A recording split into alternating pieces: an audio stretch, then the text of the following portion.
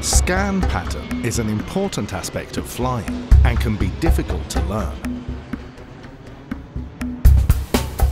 Pilot training often takes place in a simulator, with the instructor sitting behind the pilots.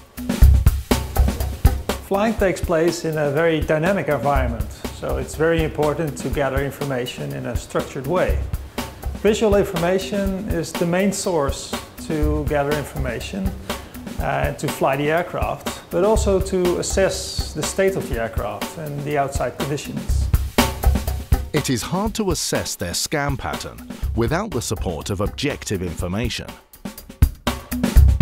Now, scan pattern, of course, is important when uh, flying the aircraft. The pilot flying has to keep all parameters stable and the pilot monitoring has to warn when things get out of hand. At this moment it's very hard for an instructor to assess the scan pattern of the pilots. Um, yeah, you get information about the, the performance of the pilots, but you don't see the, the source of the problems. So one way is to ask about the scan pattern of the pilots, and the other one is to look at the eyes. But both are not very reliable.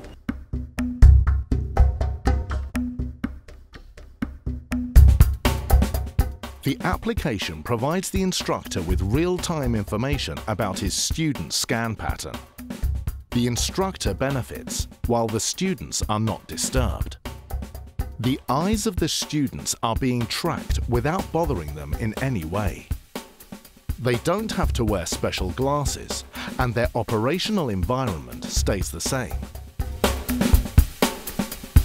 And with this tool, I get actual objective information about the scan pattern, which is very helpful to get effective feedback.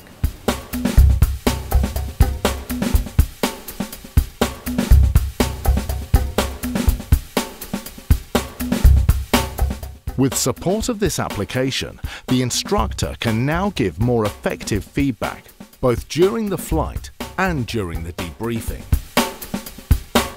A, a military pilot, um, and especially a fighter pilot, you know, at certain stages of the flight can be very, very busy with a high workload.